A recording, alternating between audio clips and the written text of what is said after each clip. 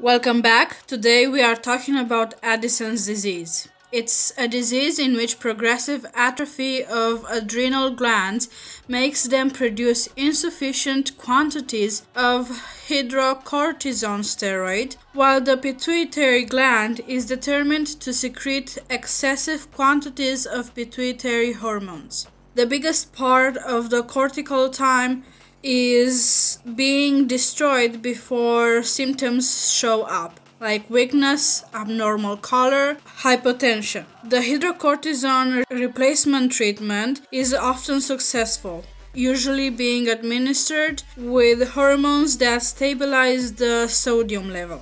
More than half of the cases seem to be caused by autoimmune reaction, rest being caused by adrenal gland being destroyed by a granuloma, for example, tuberculosis.